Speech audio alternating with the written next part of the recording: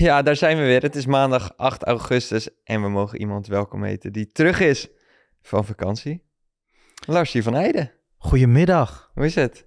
Ja, met mij gaat het goed. Zeker nu ik hier in deze setting zit. Hoe bevalt hij? Ja, heel erg goed. Ik moet zeggen, ik, eh, ik heb natuurlijk de ontwerpen langs zien komen en ik ben van tevoren... Je, je ziet dat proces gaan en gaan, maar ik denk dat ik op 60%, 70% van de studio ben vertrokken. Drie weken geleden naar eh, Oostenrijk in eerste instantie en daarna naar Italië en dan kom je hier terug. Ik moet eerlijk zeggen, toen de eerste daily in een nieuwe setting online kwam... 1 over 4 was ik YouTube aan het kijken. Toch In een benieuwd, hè? kerk in, eh, in Bologna. Was niet iedereen even blij mee. Nee? Ik wel. Want eh, ja, gruwelijk man. Mooi. En natuurlijk een heerlijke vakantie ge- gehad. Hè? Ja, dat geloof ik wel. En je bent in eh, Pisa geweest om jouw Lorenzo Luca nog te Ja. ontmoeten, maar daar was hij niet. Hij was net die middag ging hij naar Amsterdam. Helaas kon ik niet meevliegen. Ik heb gewoon eh 14 uur in een auto zonder airco teruggereden. Maar nee, ik heb in Italië best veel voetbalstadions gezien. Die van eh, Verona, San Siro voor het eerst echt. Ehm, FC Lugano in Zwitserland. En, ehm, en Bologna, wat een schitterend stadion is. Dus mijn voetbalhart werd wel gevuld. De eerste week van mijn vakantie wilde ik even helemaal niets met dat geile kutvoetbal, zoals Bram van Polen dat zegt, te maken hebben. Maar dan de tweede week begint het weer te kriebelen. Heb ik alle dailies geluisterd. En ja, afgelopen weekend gingen we weer los. Het begon weer, hè? De eredivisie, we gaan het zo natuurlijk ook hebben over andere competities, Ja. maar de eredivisie begon weer.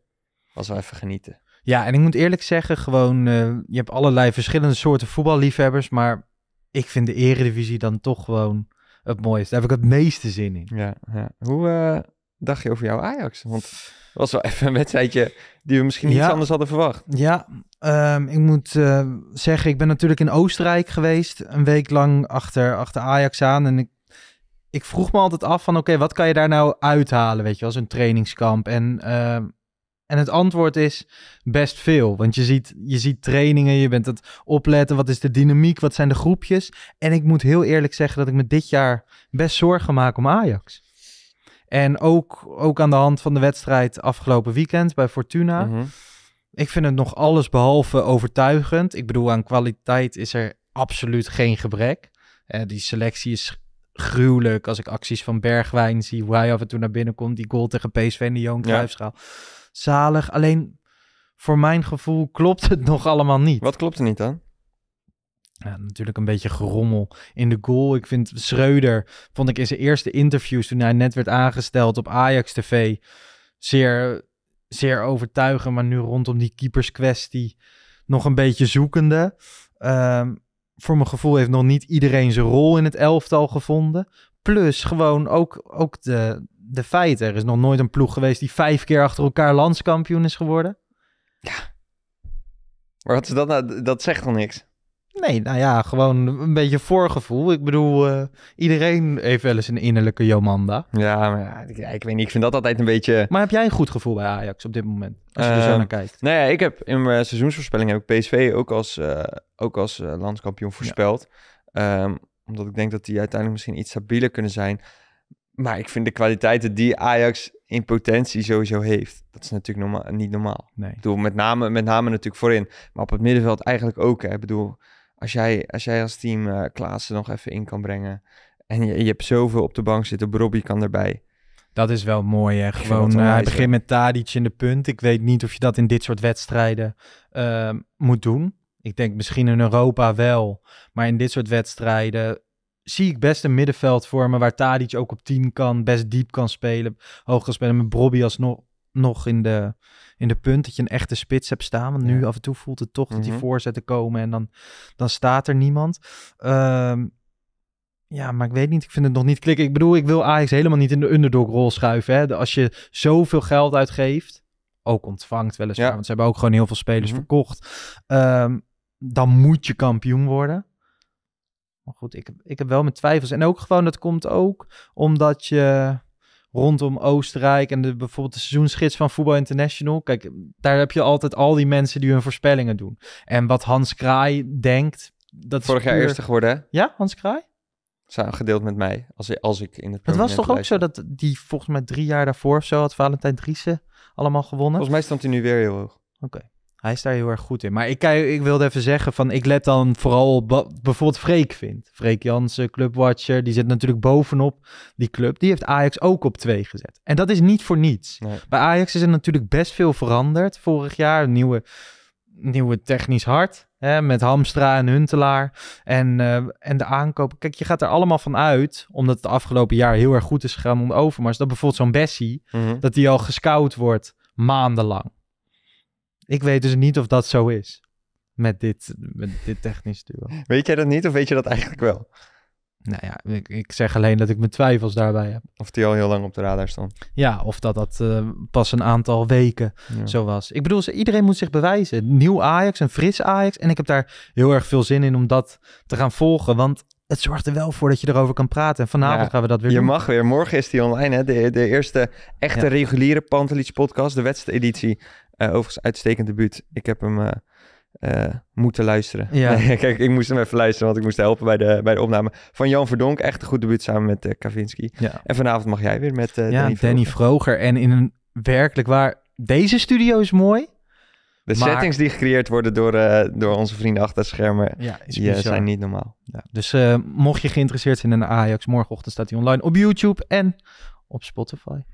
Laten we PSV eigenlijk heel kort behandelen. Eigenlijk ging dat echt eh, heel ongemakkelijk. Ehm, was Emmen Ja. echt een paar maatjes te klein. Liet PSV weer zien dat het heel veel mogelijkheden heeft. Ja. Ik, werd, ik, werd er, ik word er echt serieus enthousiast van. Ook Van Nistelrooy maakte wat keuzes. Ja. Eh, met bijvoorbeeld nu Xavi Simons in de baas Ja, en die liet, voor, die liet echt zien niet zomaar een showpony te zijn. Nee, ja, dat, dat, dat vind ik dus ook. Maar daar hebben ze het gisteren in de Bord op Schoot podcast eh, veel langer over gehad. De Bord op Schoot podcast die we elke zondagavond live doen.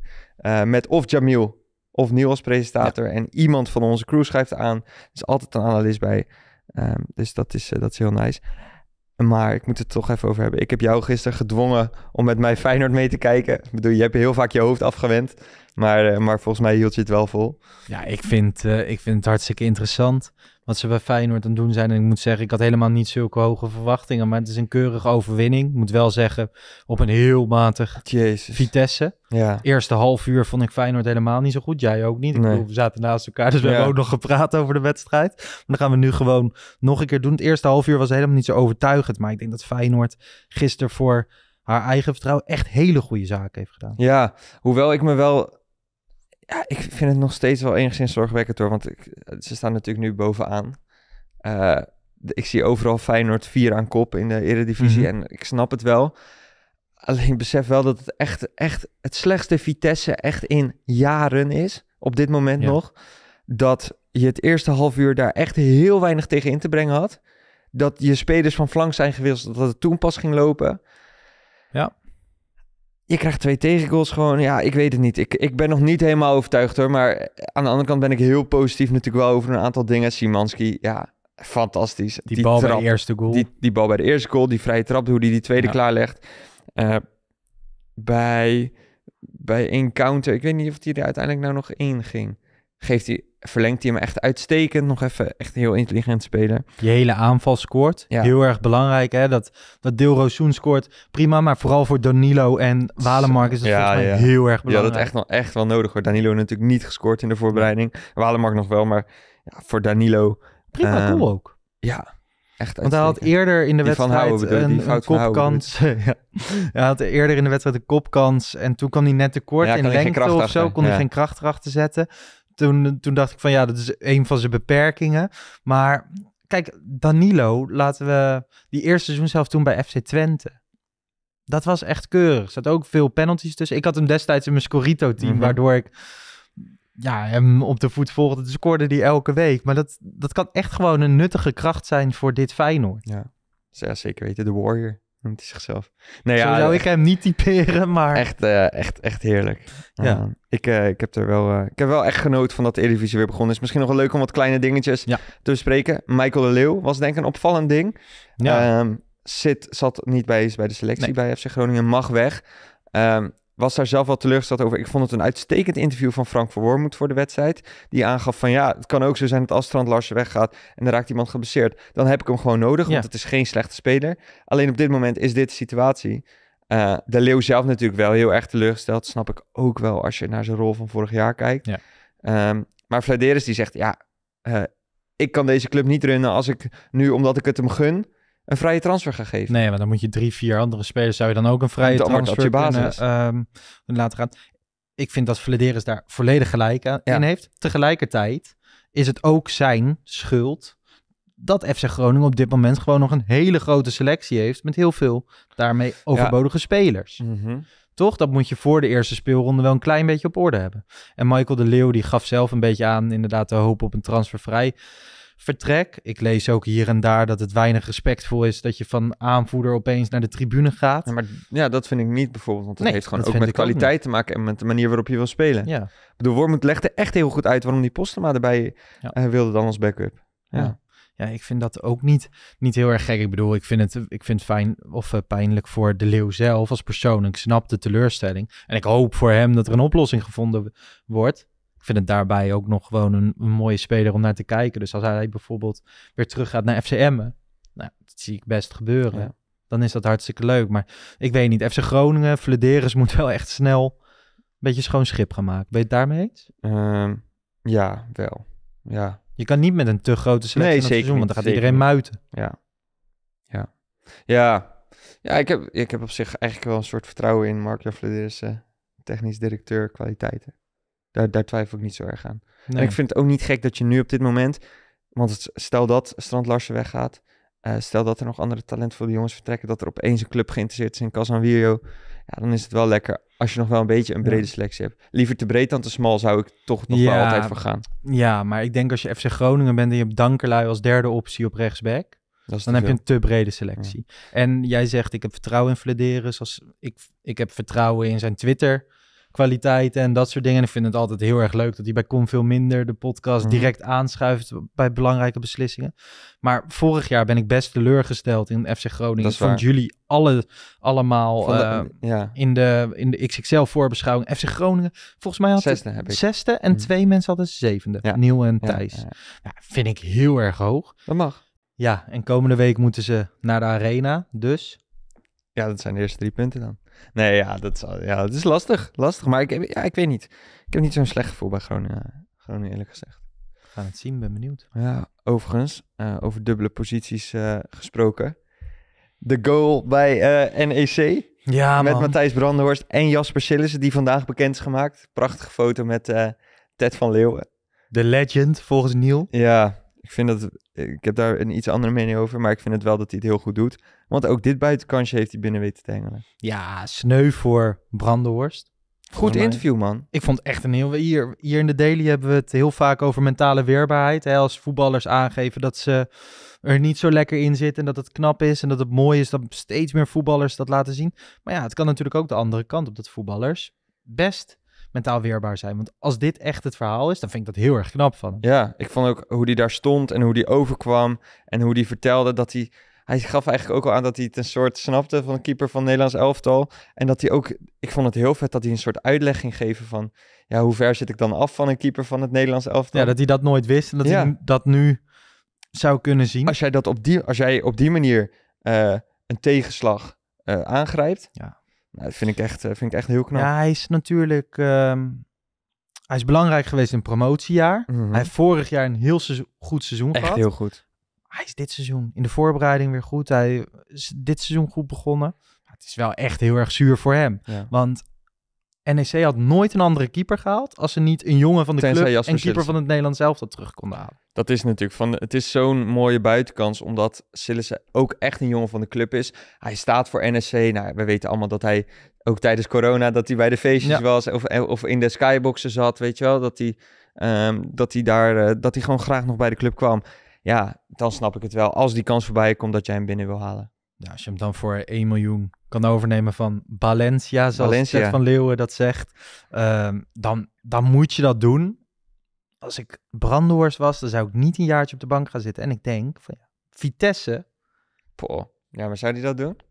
ja, waarom niet? Die jongen moet toch keepen? Hij moet sowieso keeper, ja. Of AZ. Maar Vitesse, we, we hebben, die hebben natuurlijk keepersproblemen van hier tot Tokio. Ja. Ja, Vitesse zou qua... Die hebben zeker een keeper nodig. Daar zou, en daar zou die ook sowieso spelen. Want hij is eh, met afstand dan de beste, Ja. zou die zijn. Ja, maar het zou natuurlijk wel een klein beetje gevoelig zijn.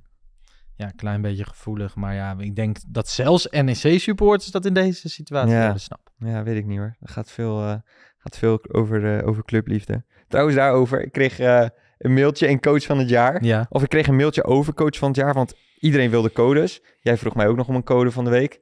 Niet gelukt. Je hebt Nee, gewoon gelapt. Ik heb het afgelopen vrijdag gedaan met een man. Met mijn salaris is dat natuurlijk geen enkel probleem. Dus die 5 euro gewoon neergelegd. Op de terugweg vanuit Italië die coach van het jaar ingevuld. Moet zeggen, niet geheel Nee. tevreden. Mijn weekend gered door Bas Dos. Ja, dat is lekker. Dus dat is, eh, dat is lekker. Bivakkeer een beetje in de middenmoot als we kijken naar de mensen hier op de redactie. Maar ehm, Hoe is het daar? In die middenmoot? Ja, jij weet niet... eh, Nee, ik sta het stukje, een stukje een bovenaan. stukje maar, daarboven. Ja, ik sta daar met, eh, met Jamil. Dus eh, wat Oh, dat dat is betreft eh, is het wel gezellig. dus Ja. Ik kreeg een mailtje eh, door van iemand die dacht van... Ja, ik probeer het nog op één manier om een code te ontfutselen. ja. Die bood me en aan om mee te gaan naar wedstrijden in de Tweede Bundesliga. Wat ik heel lief vond en wat ik ook sowieso leuk vind om te doen. Maar het kwam ook met dit hele zielige verhaal. Ik heb een erg zware jeugd achter de rug. Geboren en opgegroeid in Amsterdam met een vader die verfijnd is en een hekel had aan Ajax. Het was niet eten altijd even makkelijk, dat zeg ik je wel. Mijn opa was een echte Ajax-ziet en ik was daar vaak. Maar zodra ze punten verspeelde hing mijn vader alweer aan de lijn om het in te wrijven. Al mijn basisschoolvrienden waren ook voor Ajax en ik wist niet echt de aarde tussen de jeugdige voetbalsupporters. Ik had voor Ajax kunnen zijn, maar dat wilde ik mijn vader, de eenzame Feyenoord-fan in Amsterdam, niet aandoen. Al mijn beste vrienden van nu zijn voor Ajax en ik bezoek graag wedstrijden met hun in de arena. Maar toch merk ik stiekem dat ik gewoon erg enthousiast word van een voetbalwedstrijd kijken in een stadion met een biertje in mijn hand. Het maakt me dan eigenlijk niet uit waar ik ben. Mijn jeugd was totaal niet zwaar hoor. Dat is wat overdreven om het verhaal wat extra interessant en opvallend te maken. Jammer. ja, Ja, er zijn geen codes meer, dus kan ook niks voor je betekenen. ik hoop dat Heel leuk gewoon, mailtje. eh, 5 euro heeft betaald Doen we niks mee. meedoet. Doen we helemaal niks mee. Toch? Vijf euro en dan kan je gewoon eh, meedoen, jammer. Wat vind je altijd van die, kijken we los van zijn verhaal. Ik snap dat er Feyenoorders in Amsterdam zijn Mhm. en eh Ajaxiden in Rotterdam. Maar soms wordt dat natuurlijk helemaal uitgelicht. Je hebt Nee, volgens mij die. Ajaxstraat in Rotterdam. Had je? Of Ja, maar dat is toch prima? Ja, maar vind je die verhalen eromheen? Ik vind de verhalen eromheen altijd net zo, los van deze mail, maar ik vind die verhalen eromheen altijd net zo kut als dat jij vindt. ehm, die verhalen rondom amateurteams tegen profteams in Ja, de KNVB. dat er een bakker meedoet. bedoel? Ja, dat ESPN daar weer met een draaiende camera in de Ajaxstraat in Rotterdam staat. Ja. Loopt niet warm voor de items. Nee, maar het is wel goed dat dat gewoon er nog is. Namelijk, het is niet zo raar toch dat er in Rotterdam Ajax-fans zijn Nee, en in Amsterdam Feyenoord-fans. Gelukkig. nee, dat is waar. Moet prima kunnen. Laten we het over eh, buitenlands voetbal hebben. Manchester United natuurlijk volle bak bij ons in de aandacht. Natuurlijk Zo. door Erik ten Hag, natuurlijk door eh Tyrone Malacia, natuurlijk door Lisandro Martinez, door Ronaldo, door Donny van de Beek. Maar ja, 1-2 verlies van Brighton. Ja, dat is niet hoe je speelronde 1 voor je ziet als je daar net instapt. En eh, de Engelse media laat direct weer zien de Engelse media te zijn. Die duiken erop. Ze vliegen op eh, stroop of op stront. Ja, stront in dit geval. Ja, ja dit, is een, dit is wel even een tikkie. Ja, volgens mij werd er gezegd van de afgelopen jaren was ontzettend slecht. Maar dit was het meest ontmoedigende ooit. Ja, en dan denk ik van kom op. Eerste wedstrijd. United heeft echt schrikbarende dingen laten zien de Ja, ja, afgelopen ja, ja. jaren. Dan was dit echt niet het slechtste. Ja, er is natuurlijk veel, veel hoop ook wel weer gekomen. En natuurlijk wel met aankopen. Bedoel, voor Martinez hebben ze natuurlijk een dik bedrag, Ja. bedrag eh, eh, neergelegd. Ten Hag heeft in de voorbereiding ging het eigenlijk best wel oké. Ja, best wel laten zien van dat er, dat er echt wel wat in zit. Nou, er is natuurlijk heel veel gedoe om Ronaldo geweest. Nu begon die zonder Ronaldo. Rashford in de spits. Ja. Bruno Fernandes vanaf links, wat ik Ja. wel opvallend vond. Omdat Eriksen in de as moest spelen. Eriksen, die ik overigens, en dat, ik ben geen fan van Eriksen, vond ik wel het spel maken. En misschien is dat ook omdat Bruno Fernandes wat meer aan de zijkant stond, Mhm. dat Eriksen ook die rol kon pakken. Omdat normaal natuurlijk eh, Bruno dat wat meer doet. Maar Eriksen vond ik wel een beetje de, de vormgever van dit United. Ja, om eerlijk te zijn, had ik verwacht dat Eriksen op dat blokje van twee zou Ja. spelen. Want nu kom je weer aankakken met Fred en McTominay. Ja, Ja. geen fan. Nee. Gewoon van, je wil een nieuw Manchester United, je gaat geld uitgeven. En er zijn volgens mij al vier, vijf coaches die op een rijtje gewoon denken van... "Mwah, ik ga lekker geld uitgeven achterin, mwah, een beetje een nieuw smaakje ervoor, bij voorin. Maar hoezo denken ze allemaal dat dat middenveld wel staat? Ja. En met Eriksen dacht ik dat dat een van die... Ja, bre- ik denk, idealiter zit je daar, zit je Fred, eh, Fred Eriksen en eh, Bruno denk ik op het middenveld. Ja, dat dacht ik ook. Dat, dat lijkt, mij, eh, lijkt mij wat logisch. Ook omdat je voorin gewoon genoeg opties hebt. Het was wel natuurlijk... Ten Hag liet wel weer even ballen zien door Ronaldo gewoon niet, ook niet op te stellen. Wat ik ook goed vind. Ja. Ik denk niet dat hij dat eh, had verdiend op dit moment. Het enige probleem daarbij vind ik wel, volgens mij is Erik ten Hag als nuchtere tukker, hoe we hem kennen, bij Ajax ook. Volgens mij maakt het Erik ten Hag echt geen reet uit of hij tegen nou, eh, McTominay praat Nee. of tegen Cristiano Nee. Ronaldo. En dat is tot op een bepaald niveau is dat goed, maar dat kan je op een gegeven moment ook heel snel tegen gaan staan. Ja, ik denk dat het in deze situatie in ieder geval heel erg goed is. Ja? Ja, want ik denk dat Ronaldo op dit moment zowel zelfs qua prestaties eh, ook niet laat zien voor hoe groot hij op dit moment heb ik hij het over. hè? gewoon niet. Nee, daarom. Maar ook als hij meedoet, Ja. eh, doet hij, speelt hij iets te veel zijn eigen wedstrijd en gaat hij niet mee in wat. eh, ja, ik denk dat Erik ten Hag alleen al denkt van ja, ik wil hem gewoon uit die selectie hebben, maar zo'n ja. zo'n bestuur werkt dat natuurlijk ook tegen. Ja, hij wil hem, of hij wil hem natuurlijk gewoon hebben zoals je hem... Hij wil hem Ja. in zijn, in zijn stijl, in de Ten Hag-stijl. Kan hij, hij, hij zou hem natuurlijk uitstekend kunnen gebruiken, maar dan moet hij wel mee in, in het steltje.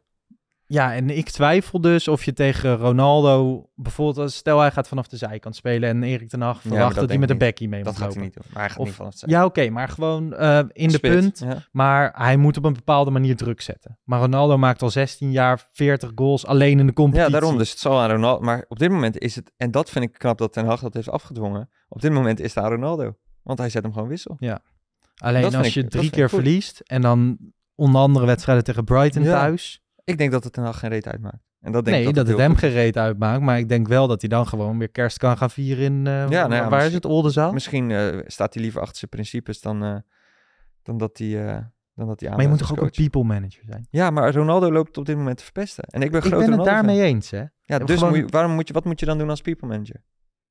Nou ja, ik weet niet of het een manier is dat je tegen iedereen precies hetzelfde communiceert. Eh, Nee, we weten natuurlijk ook ook niet of hij dat ja. 100% doet. Ik vind ook niet dat hij dat doet. Alleen ik vind wel dat hij ballen toont eh, door Ronaldo ook gewoon wist te zetten. En ook niet nu eh, United lijkt een beetje in paniek. Dat vind ik wel. Als je kijkt, en dan gaan we het over transfers hebben. Ik vind dat hij dat in het geval van Ronaldo niet doet. Dat hij daar heel erg in, in power is, zeg maar, in Ja. charge. Ehm, maar qua transfers, Frenkie staat natuurlijk al heel lang op de radar. Ja. Nou, lijkt dat een moeilijke situatie te worden. Ook nu met dat Barça, die heeft hem gestuurd dat, hij, dat ze uh, Ze willen bewijs terug hebben. naar zijn oude contract. Ja, ze hebben bewijs gevonden dat het Ja. vorige contract niet juridisch... Frenkie de. Jong heeft eh, natuurlijk een contract getekend toen hij van Ajax overkwam naar Barcelona. Daarna heeft hij nog een keer zijn contract verlengd. En dat is onder het oude bestuur geweest. En dit nieuwe bestuur, dat zegt van hé, hey, dat is met... eh, dat is niet legaal gegaan en daarom willen we jou terugzetten naar je vorige contract. Nou ja, dit begint natuurlijk een verschrikkelijke soap te worden. En hoe je, hoe je zo'n mooie speler als Frenkie de Jong, die typisch bij Barcelona hoort, zo erg probeert dwars te zitten. Ik vind het echt, echt bizar. Ja, in die zin zou die, eh, zou die echt naar, eh, naar United moeten. Maar die hebben ook een alternatief al. Adrien Rabiot van Ja. Juve. Ja, en zijn Ik- moeder. Ja, ik sta hier echt zo van te kijken. Rabiot en Arnautovic, als die op één dag genoemd worden dat je die binnen wil halen. Sorry, ik snap dat echt niet. Natuurlijk kennen we de tabloids. Hoe, hoe betrouwbaar is dit allemaal? Ja, vol- die Athletic kwam met Ar- Arnautovic. Ja, dus dat Dat is goed. redelijk En betrouwbaar. dat is natuurlijk dat lijntje is ook wel te leggen met Twente, waar Ten Ja. En Arnautovic elkaar nog van kennen. Ja, dat vind ik engig hoor. Want eh, eerder de transferperiode werd natuurlijk Brobby genoemd. Bij United toen hij nog bij Leipzig zat. Erik ten Hag schijnt hem gebeld te hebben. En het schijnt echt best wel concreet te zijn geweest. Brobby wilde alleen maar naar Ajax. Maar dan, als je nu dan weer bij Arna- Arnautovic uitkomt. Die tegenwoordig bij Bologna voetbalt. maar waar zouden, zouden ze leeftijd is. verhalen? Zouden ze dan... Nu stond Rashford in de spits, Martial kan Ja. natuurlijk in de spits, Ronaldo in de spits. Zouden ze hem dan halen als centerspits of aan de flanken nog onderbij? Plus, volgens mij is die 1, 2, 33. Ja, al aardig op leeftijd. Heeft al in China gespeeld. Lijkt een Oeh. beetje op zijn retour. Het is ook niet dat je elke week leest op eh Voetbal International dat dit de beste speler was dit, Nee. eh, dit Serie A weekend. Nee, hij heeft natuurlijk wel wat. Bedoel, we zien allemaal dat hij heel goed kan voetballen. Alleen als United moet je dit toch niet meer willen. Nou, gewoon toen Ten Hag werd aangesteld, was ik heel erg blij dat we al heel snel lazen dat Ranjik niet technisch adviseur zou blijven. Hè? Dat was een beetje het idee. En ik heb niks tegen Ranjik. Mhm. Zeker niet als, als beleidsmaker, beleidsbepaler. Maar, maar dit leek me een hele verstandige move. Maar als nu dit soort Ja. namen komen, dan denk ik van ja. is niet alles. Nee. Is niet alles. We gaan eh, United zeker in de gaten houden. De Premier League ging sowieso van start. Echt lekker ook wel. Ook hiervan weer echt genoten. Ja. Waar heb je het meest van genoten? Of waar kijk je het meest naar uit na deze eerste speelronde? Ja, ik moet heel eerlijk zeggen, de tandem Kevin De Bruyne en Erling Haaland. Oh ja, ja dat, dat, is, heb ik ook. ehm, dat heb ik ook. Ik weet niet, ik, heb- ik heb sowieso niet heel veel tegen Manchester City. Gewoon met al dat geld splashen en zo. Ik vind ze een mooi elftal hebben. Ik geniet bij Vlagen echt heel erg van het voetbal dat ze spelen. Ik vind het een mooi gebalanceerd elftal. Zeker sinds ze ook een beetje die jongens hebben die tegen de... Die niet zo heel braaf zijn. Phil Foden, Jack Grealish. Ja, en als je dat gisteren ziet, die paas van De Bruyne op Haaland. En gewoon Haaland die naar de grond gaat en zelf die penalty neemt. Schitterend. Ja, er zit zoveel moois in, man. Ik, ik wou ook, waar ik het meest naar uitkijk en waar ik van genoten heb, is Haaland in de Premier League. Ik Ja. denk dat hij echt heel die Premier League echt Je zag slopen. Shearer direct eh, tweeten. Nog zoveel goals te gaan voor mijn record wordt verbroken. Wel mooi ook, toch? Ja, super vet. Maar ook, ik zag ook, ja, ik ben bizar groot Jack Grealish fan. Gewoon, Ja. ik vind hem zo vet. Maar in de voorbereiding zag je ook weer, eh, eh, volgens mij dingen dat Grealish zei van... want Grealish had een assist gegeven op Haaland in Mhm. de voorbereiding. Dat zei van, hey Erling. En dat, dat, eh, dat Haaland zo zei van... Ja, hiervoor ben ik naar City gekomen. Vind ik zo mooi, Ja, weet je wel. Want dat is, Jack Grealish is Ja. natuurlijk niet de reden geweest. Maar wel mooi dat dat zo speelt. En ik denk dat Haaland echt heel die Premier League echt naar gort gaat spelen, man. ik, ik ben heel erg Ik heb vorige week nog Liverpool op één gezet met Jamil in Maar bij dit dacht ik alweer van, poh, dat, dat hij, man. Ja, en Liverpool, valse start op Craven Ja. Cottage. 2-2. Ja, Van Dijk voor het eerst werd hij voorbij gedribbeld. Direct een penalty. ja. En dan in al die wedstrijden Liverpool word je voor het eerst voorbij gedribbeld. En dan gebeurt het door Mitrovic. Ja, ja, maar ik vind Mitrovic ook al mooi, hoor. schitterend. Echt, echt een mooie maar normaal presterde hij altijd in de Championship Mhm. echt gruwelijk. En dan in de Premier League viel het altijd tegen. Het begon nu goed. Ja, zeker. Zeker moet gezegd worden, assistje van Kenny Tate ook. Ehm, ook wel leuk. Maar ehm, nee, ja, Liverpool, een beetje vast start. Ik moet op zich zeggen dat ik het niet tegen vond vallen. Ik werd nog wel blij van de invalbeurt van, eh, van Darwin Nunez. Mhm. Natuurlijk een goaltje en een assist. Eh, echt wel heel erg belangrijk. En eh, ja, ik weet niet, ik, ik zit er niet zo heel negatief in voor Liverpool. Ik vond dit, ja, het is dan omdat het op de eerste speeldag is. Ja. Maar als dit gedurende het reguliere seizoen is zo'n gelijkspel, ja, Je kan er een keer tegenaan lopen. Ja. Maar ja, het is, toch, het is toch niet de start die ze Nee, geweest hadden. nee dat, dat absoluut. Verder eigenlijk niet echt hele grote verrassingen. Spurs Nee. maakte indruk. Ja, dat, Met, dat eh, met vond ik 4-1. inderdaad opvallend. Ehm, en verder, Chelsea gewoon gewonnen, Chelsea Arsenal wint. De grootste verrassing is hè, Brighton. Ja. Dat wint bij United. Absoluut eh, heel veel zin in. Wij gaan kijken naar, eh, naar Haaland dus dit. Ja. Zoals iedereen, denk ik. Alleen, het heeft het wel weer... Het heeft de hype nog even, even wat groter gemaakt. Hoor. Tenminste, merkte ik bij mezelf heel erg. Ja, de, de druk op hem zal ongekend hoog zijn geweest. Hè, hij wil alleen maar leveren. Pep Guardiola zei ook dat, dat hij dat een beetje, dat Messi dat ook had. Dat hij altijd meer wil, nooit genoeg. Ja, dat zei hij nu ook. In oh, heb je trouwens gezien, heb je dat interview gezien van Haaland? Nee? Ja, in, in Engeland mag je natuurlijk op tv niet vloeken. Mhm. Dus je mag shit niet zeggen en fuck niet. Eh, dus hij zegt zo van, eh, ik weet niet wat hij precies zei, maar volgens mij zei hij it's shit, it's shit but, eh, want het ging over dat hij nog Ja. een kans had moeten maken of zo. En toen eh, zei, die, eh, zei die verslaggever, die zei zo, eh, steady with the language. en toen zei hij, oh, oh shit. En toen zei, zei, zei hij het weer, ja, was Dat echt, vind ik wel mooi. dat was echt fantastisch. Maar hij beseft het ook al. Ja. Hij beseft het ook al, dus dat was, dat was prachtig. Ook dat is een aanradertje om, die, om dat interview even te even kijken. Ehm, de Bundesliga is ook weer begonnen. Ja, wij hadden het er gisteren ook alweer over samen. Het is fantastisch. Er zit zoveel moois weer in. Dit Bayern bijvoorbeeld. Dit Bayern München is echt... ehm, Kijk, en heel veel mensen zullen dan ehm, die wedstrijd niet live hebben gekeken. Ik bedoel, ik heb het ook niet live gezien. Ik heb de uitgebreide samenvatting gezien. Maar die zullen dan kijken en denken... Hé, shit, wordt weer niet spannend. Maar dit Bayern München is zo gruwelijk goed. En het is niet... Het is niet een Mickey Mouse League, die Bundesliga. Nee, natuurlijk. Nee, bedoel, Frankfurt haalt natuurlijk Gutsen binnen. Ja, Ehm, hebben gewoon een uitstekend team. En dit is, dan, ja, dit is dan de openingswedstrijd van het seizoen. Echt Bayern binnen drie minuten op voorsprong. Binnen elf minuten 2-0 voor. Daarna, ja, ze, ze bleven maar uitlopen. En je kan het Frankfurt niet eens kwalijk nemen. Want er zit zo fucking veel kwaliteit Ja. in die selectie. ja is echt niet normaal. super uitgebalanceerd. Ja, en dan toch, als je op de bank kijkt, wat op de bank zit, Mhm. eh, valt dat nog wel een soort mee, hè? Met Choupo-Moting. Ehm, dit keer, st- ik weet even niet meer of Coman, Coman speelde volgens mij niet. Ehm Goretzka is er nog niet bij. Mazraoui zat wissel, De Licht zat wissel. Eh Nianzou zit dan op de bank. Ja. Het is, je hebt een paar grote namen, Maar er zit ook heel veel jeugd alweer bij. En dat, dat vind ik wel vet om te zien hoor. Ja, en anders krijg je ook vrij snel het probleem dat je weer die hele selectie moet gaan managen en foute verwachtingen krijgt. Ik weet niet, ik denk dat Bayern München met dit wat ze allemaal aan het doen zijn, zeker voor ons als Nederlanders is het natuurlijk extra interessant geworden. Maar met, met De Ligt en Mané, zij willen gewoon die Champions League. Ja, de licht speelde natuurlijk nog niet, hè? Upamecano speelde. Ja. Wel opvallend, van dat er toch werd gezegd, volgens mij kwam vanuit Duitsland ook wel van... Ja, er wordt over het algemeen toch nog wel gedacht dat Upamecano misschien ietsje verder is dan de licht. En Mazraoui speelde niet, daar speelde Pavard. Dat is Ja. een keuze denk ik op basis van wat ervaring. Uh, Pavard scoorde overigens ook wel gelijk, dus dat is wel voor hem wel heel mooi. Ehm, Gravenberg gaat het lastig krijgen als ook Goretzka er nog bij komt. Want Ja. je hebt eh Kimmich, Sabitzer, Goretzka, Musiala die daar ook nog zou kunnen spelen. Het is, het is, ja, het rondom zijn transfer hebben we dat toch ook wel gezegd. Want Gravenberg moet niet gaan verwachten dat hij in de absolute krakers in de basis staat.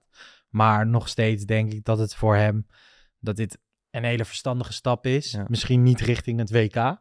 Dat zal misschien nog wel een ja, beetje, aan de andere kant, als je op dit niveau eh, als je de potjes mag spelen. en, tegen, en mee ja. blijft doen, dat doet je alleen maar goed, doet je alleen maar goed, denk ik. Dat is waar. Ik ben, ik ben wel benieuwd of hij meegaat naar het WK wat voor keuzes Van Gaal gaat maken. Ja. Had je de ontvangst van Gini Wijnaldum bij AS Roma Ja. gezien? Mooi. Dat is mooi. Ja, lekker, lekker. Zijn naam kan ook wel goed op dat, eh, ja, man. op dat nummer. Ja. Ehm, de concurrent van Bayern zal dit jaar toch ook wel weer Dortmund worden. Natuurlijk flink geïnvesteerd met Haller, wat, eh, wat vanwege, vanwege zijn ziekte dus nog niet zo goed is, eh, is uitgekomen. Die moesten een extra spits halen. Ja. Ze hebben voor Anthony Modest gekozen. Nou, voor mij sowieso al een cultheld, omdat ik op, als ik ga skiën, dan ben ik dit liedje ongeveer eh, elke dag aan het zingen over, over Modest Mhm. bij Keulen fucking goed gedaan. Natuurlijk ook nog bekend vanwege het juichen met die geit. Ja. Wat, wat iets minder goed, eh, goed viel. Maar wel een beetje een rare situatie, want Dortmund maakte het om half vijf zaterdagmiddag eh, volgens mij bekend. En een uur later trapte Köln af eh, voor haar wedstrijd tegen Schalke. Ja. Beetje raar. Ja, volgens mij maak je daar, maak je daar afspraken over, toch? Wanneer je dingen communiceert en hoe je dat doet. Want heel de dag ging dat gerucht al. Ja. En eh, voor Köln is dat natuurlijk sowieso een slechte situatie. Als Ja. dat, sowieso voor je groep als je topscorer weggaat. Maar ook voor supporters. Zorgt Maar ja, veel aan de andere kant, weet je, een transfer is vaak binnen een groep eerder bekend dan, Dat is waar. Dan naar buiten uit. Ik denk, ik denk niet dat die hele groep van slag is. Die Nee. zullen dit echt wel geweten hebben, dat dit speelt. Ja. En die zullen zich niet al te veel laten afleiden. Ik weet niet, het voelt ook een beetje... Tuurlijk, het is ongelukkig en je ziet het liever op een andere manier. En maandagochtend is beter dan een uur voor de Ja, ja. wedstrijd. Maar of dat heel veel invloed heeft, in die end. Ja, weet ik. Wat vind je ervan? Want als je hem, eh, vorig jaar hadden ze Haaland, nou ja, haal je Haller als opvolger voor veel geld.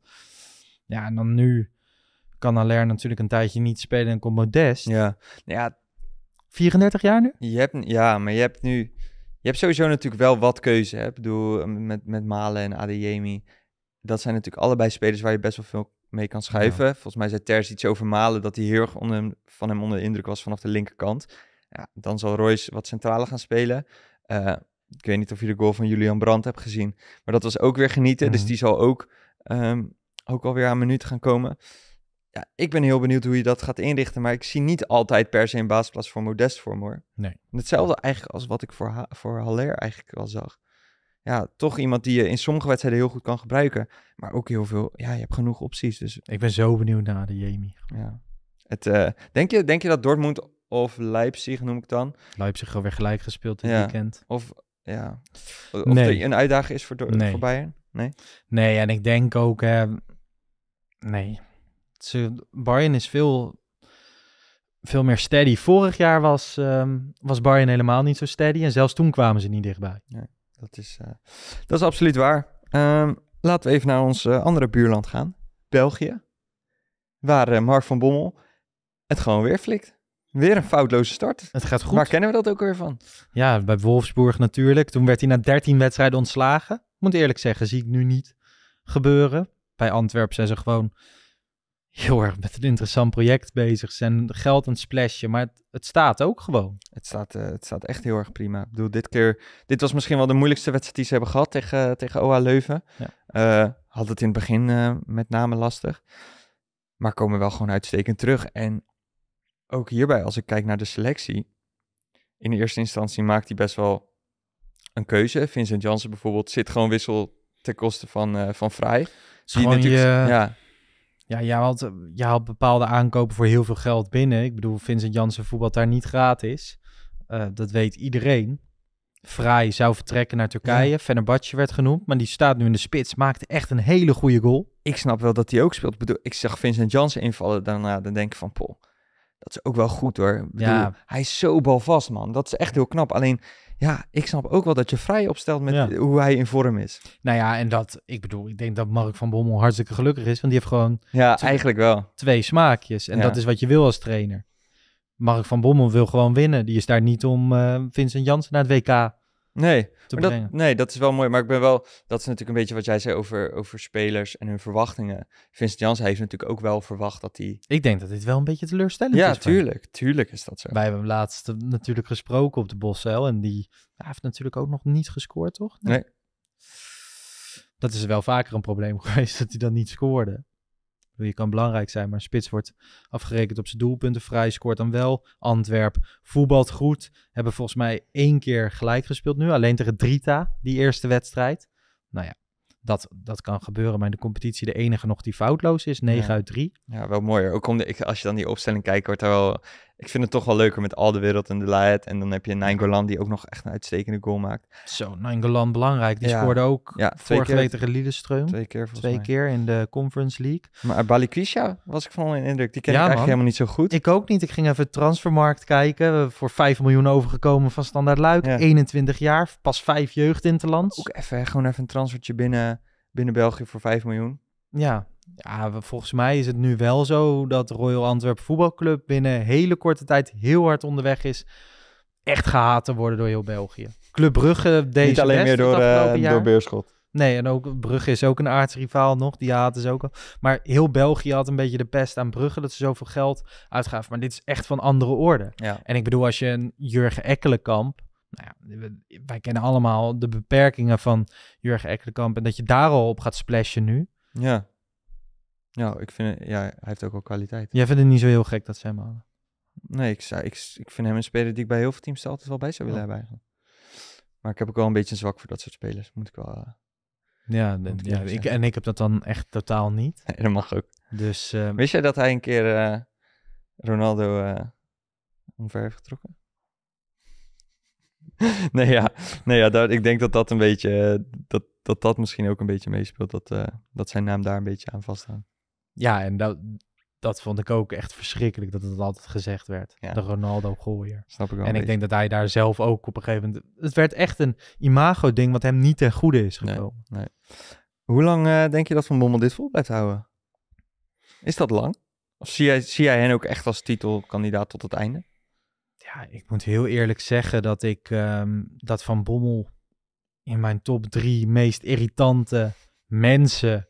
Ik wilde zeggen spelers, maar nee, gewoon mensen staat in mijn hoofd. Hè, gebroedelijk met Dirk Kuyt en Ola Toivonen. Ehm, dat is een mooi rijtje. Maar ik heb echt een zwak voor Royal Antwerp. En ik hoop gewoon dat Mark van Bommel en Overmars eh, die clubkampioen gaat maken. Dus opeens, hè, Van Bommel in deze setting, pakte ook weer een geel En- kaartje. En gisteren dacht Ja. ik opeens bij dat gele kaartje van Van Bommel, ah, wat mooi, beetje pittig in. Oh, wat Terwijl erg, Lars, wat erg. vond ik het altijd, ja, dit is gewoon... Wat erg. Je zit Ja, maar misschien proces. is dat ook wel gewoon een beetje het volwassen worden van, Lars van Heijden. van Lars van Heijden. Nu Mark van Bommel nog. Nu Mark van Bommel nog. Dan zijn we er. Nou, mooi om, eh, mooi om eh, mee te maken hoe jij in dit proces zit. Dat gaan we gedurende dit jaar, eh, gaan we dat even Wat denk jij? Denk je dat die Ik vind, goed gaat blijven doen? Ja, ik vind dat zo moeilijk. Ehm, ik, vind er wel, ik vind er echt heel veel leuke spelers tussen zitten. Maar ik heb ook wel van, het is wel best wel nieuwig. Veel Ja. mensen erin van, je hebt wel een paar steunpilaren. Als daar iets mee gebeurt, kan het ook wel rap, eh, rap weer bergaf gaat gaan.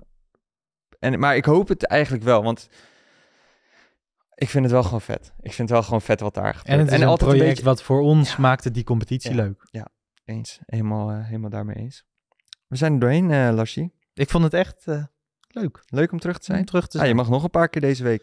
We zitten deze week veel nog eh, met, drie, met drie personen. Volgens mij beviel dat best goed toen ik met, Ja. eh, met, eh, met Milan en met Armin zat. Dus, vond dat heel erg Dus leuk. dat wordt, wordt gezellig. Ehm, uiteraard wil ik iedereen vragen om, als je via YouTube kijkt, om te abonneren. Dat, dat helpt ons. Het gaat, het gaat de goede kant op. maar we zijn er nog lang niet. Uh, uiteraard mag je ook recensies achterlaten in Apple Podcast. Kan je via Spotify alweer iets qua ratings? Nee, ja, je kan gewoon uh, ons even vijf sterretjes geven. Oh, doe dat even. Als je dat zou willen doen, uh, ben ik heel dankbaar. We gewoon tiende in die Spotify podcast hitlijst. Ja? En ik bedoel, de hitlijst... Jij bent van de podcast. Ja, ik, vind, ik vind de top 40 is nou niet per se mijn lijst. Maar dan merk ik toch wel weer, als we er dan zelf in staan, dan, dan ga ik er toch wel lekker op. Toch wel uitgeprint op je kamer. Nee, ja, nee, dat is leuk. Dus uh, mocht, je, mocht je dat willen doen, dan zijn we daar heel dankbaar voor. Uh, ik zal morgen ook even de Apple podcast recensies checken. Of er nog iets nieuws is ingestuurd. Misschien heb ik dan voor jou wel een code als je een leuk, uh, leuker mailtje stuurt aan jou. Sorry, jammer. Ah, nee, sorry, jammer. Maar um, dit was hem. Morgen zijn we er weer met een nieuwe FC Afkikken Daily. Vanuit hier, zonder mij in ieder geval. Zit jij erin? Ja. Met Lars. Nou, veel plezier. Tot morgen.